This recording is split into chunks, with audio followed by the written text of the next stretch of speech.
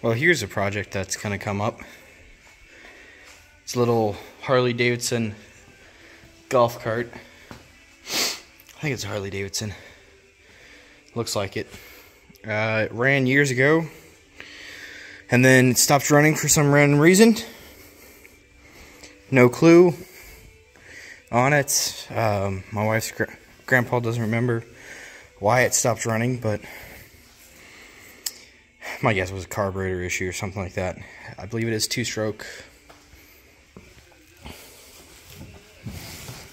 I know it's a Columbia golf cart based on that.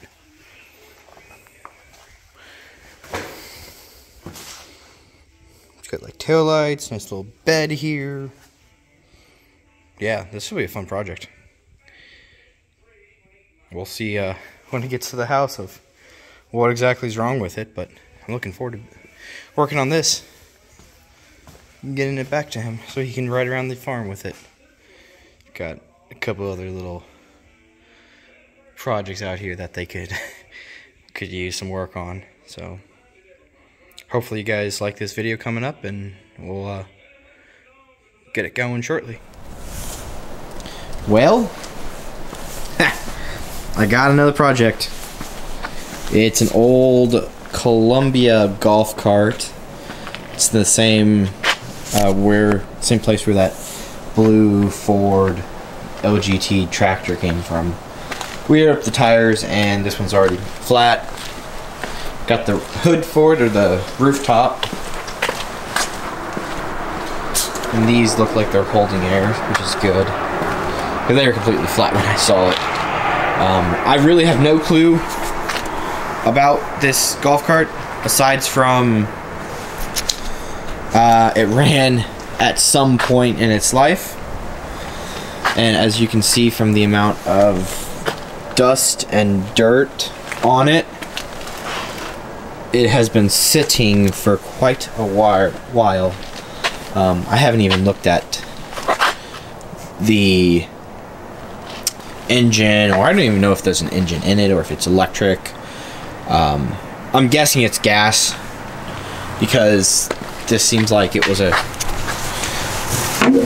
Wow, yeah, there's the gas tank. Oh, it's a two-stroke. It looks like. Because you usually don't mix gasoline with oil unless you have a two-stroke. So, interesting.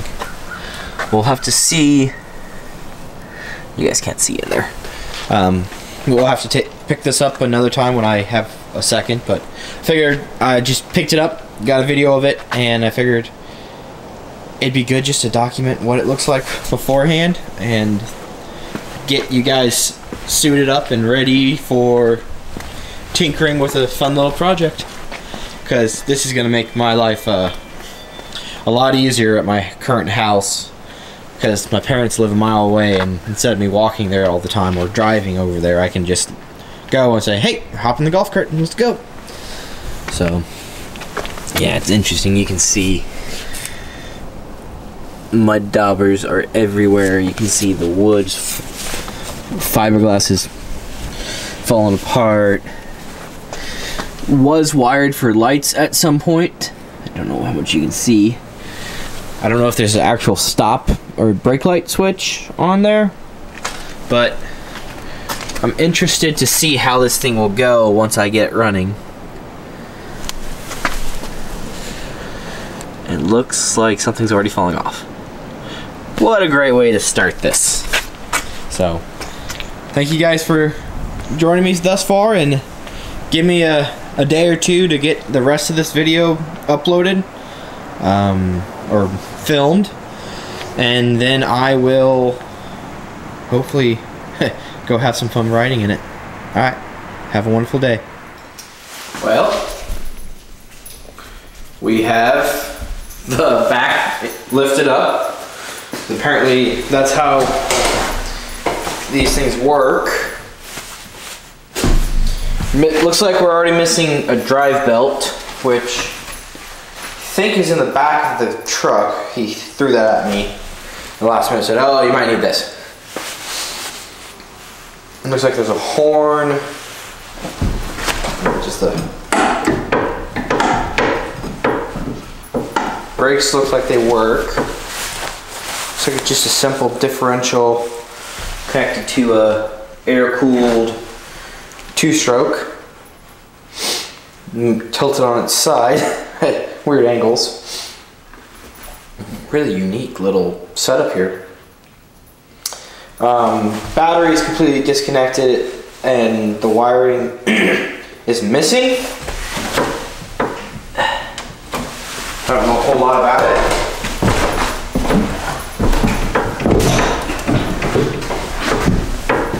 It's still on the trailer, so it's gonna sway a little bit. It looks like over here. Oh no. Oh, the carburetor is just completely opened up. There is no air filter element on it.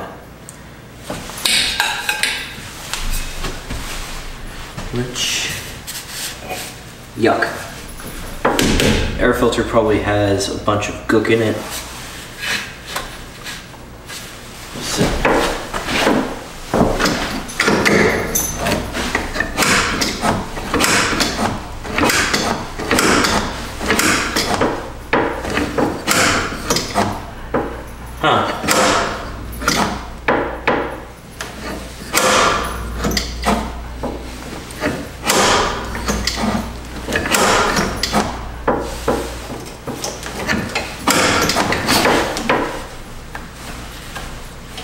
Choke seized. It's got a Harley Davidson starter generator on it. There's a sign on it. Oh trying to figure out the wiring diagram on this. Figure out the wiring. Because what does it need to start? It needs a battery. I'm guessing this is the positive, and this is the negative.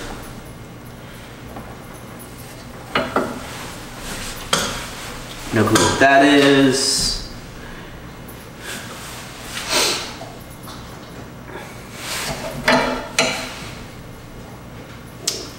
Yeah, there's just not a lot. Oh. This is gonna take a minute to get this thing running. I can tell you that much. I wonder if it's seized. No, it's not seized. It's not seized, which is good. Thankfully it's cold outside and there's no wasps out because there's mud dog nests everywhere. Looks like there's a couple wasp nests in here. Um, what causes it to start? Huh. So where would the ground be? So ignition switch is there. It gets a signal from the gas pedal because on golf carts there's no like turn the ignition key and then crank. You just turn the ignition key on and then it's on. Right? Yeah, that's what it looks like. Um, because the gas pedal to turn it'll shut off when you're when you are coming to a stop or let off the gas pedal and put the brakes on it'll the engine just shuts off. The so that means there needs to be a signal from the gas pedal or some mechanism around there which there does appear be a switch right here on the gas pedal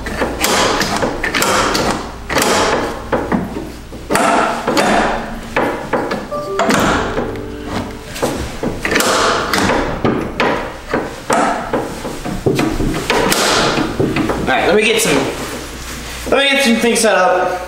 Um, I'm gonna take a guess and try to just hook up the battery and hook up a couple couple wires that look like they might go to something. And then we will see if it'll spin. I mean, there's no drive belt on it, so it's not gonna spin, not gonna go anywhere. So Uh, let me get some things set up and then I will bring you right back.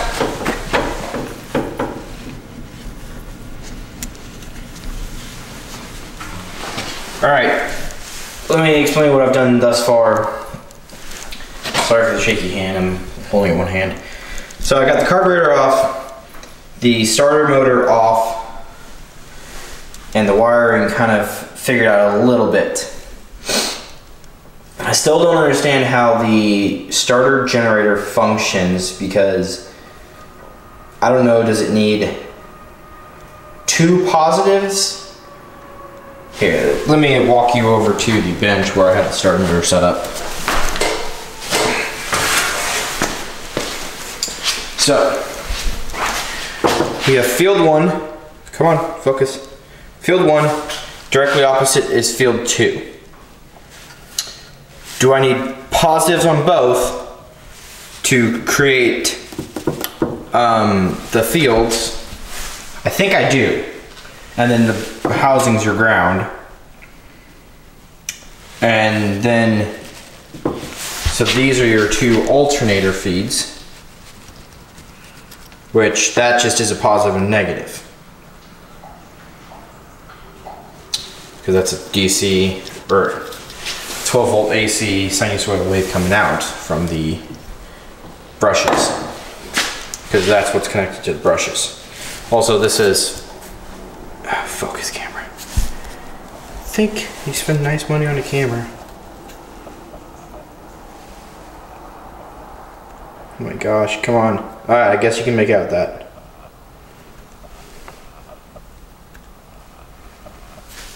Alright, we'll try this. There you go, you can see clearly F1 right there.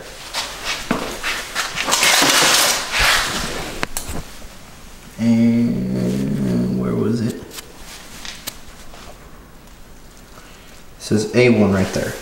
And that's A2.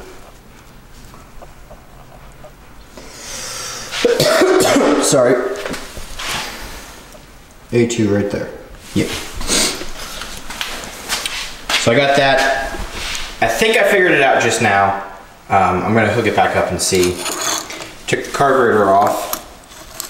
These, this is the choke, should move freely and the throttle is also in the same boat. I'm gonna take it apart, kind of, I already kind of have just to see how bad it was. You can see there, the gook. It looks like basically all the fuel just melt or evaporated and the oil was what's left over. So I got the ultrasonic cleaner heating up and I'm gonna kind of get this thing stored away because I am leaving out of town in a few days to go for a, a engineering meeting that I have. So I'm gonna get it into a storage area where it's safe and it's not gonna get stolen nor water damaged uh, because we do plan to have some rain while I'm gone. But all tires are hold, holding air except for the other one, the back right one. Um, also, I mentioned earlier, see how that sits up there like that it literally. Okay, I'm not gonna be able to do that one-handed. It's heavy. But it literally, it folds down and then sits here, then the seats are bolted all to that. So, uh, with that in mind, I am gonna call it for today. Uh, thank you guys for joining me, hanging out with me. Uh, if you can, subscribe to the channel. I appreciate it, and I like watching it grow. Um, I hope that you guys join me on the next episode of this, where we actually start to get into it a little bit more than what we have done already. It's been, this is going to be a quick one, just due to time constraints that I have, but I'm hoping that I will be back at it here shortly. So, I'll see you guys on the next one.